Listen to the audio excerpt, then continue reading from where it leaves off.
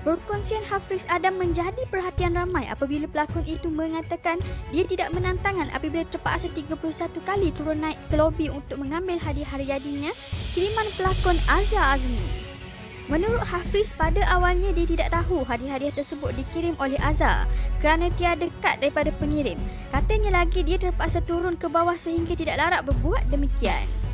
Menerusi entry itu, Hafiz turut memuat naik video menerima beberapa hadiah berupa jambangan bunga, kek, coklat dan belon yang diterima daripada Azhar.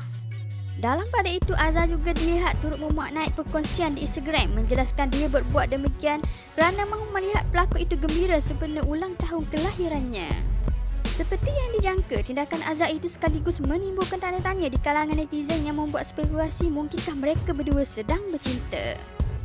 Terdahulu, Azam mengakui hatinya sudah dimiliki namun nekat untuk merahsiakan identiti kekasih barunya itu. Sebelum itu, jika anda masih baru di channel ini, jangan lupa tekan butang subscribe dan juga tombol loceng supaya anda tidak terlepas dari video-video menarik selepas ini. Kalau anda suka video di channel ini, boleh juga tekan butang like dan share di media sosial yang lain. Terima kasih kerana setia di sini.